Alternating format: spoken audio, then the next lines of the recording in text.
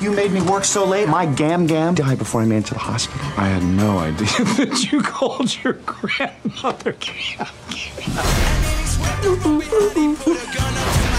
I want you to fire Professor Xavier. Creeps me out, rolling around in a special little chair. Why don't you kill each other's bosses? Word.